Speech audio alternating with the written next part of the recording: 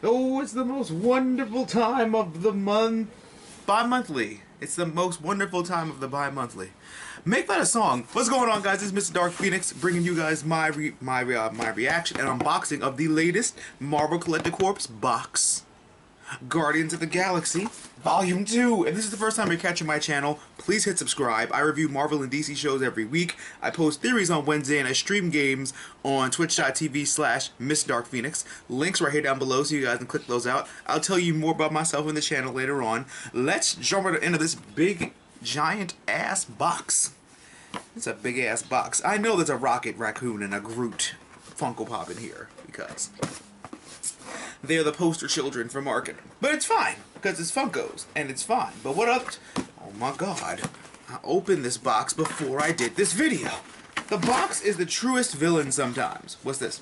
Aw. Oh shit. Almost knocked over my fan. I can't afford to knock that over. Ow. Ooh!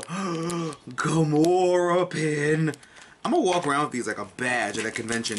Then they're gonna give me like a super special sexy Phoenix box with a limited edition new Dark Phoenix Funko Pop. Star Lord. I need a Dark Phoenix Funko Pop in my life. Let me see. What? Alright, we're gonna talk about that in a minute.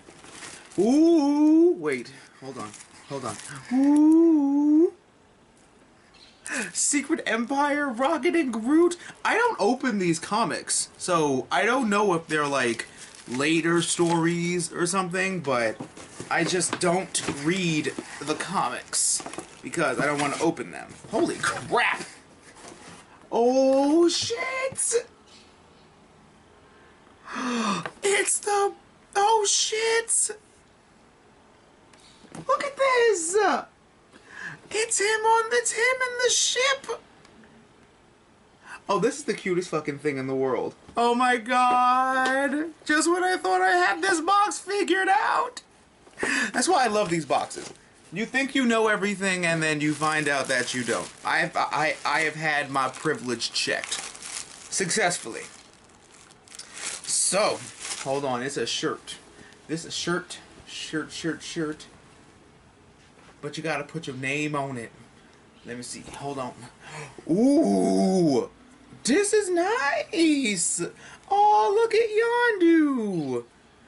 And Mantis and everybody! Guys, look at this shirt. I'm wearing this shirt for the movie.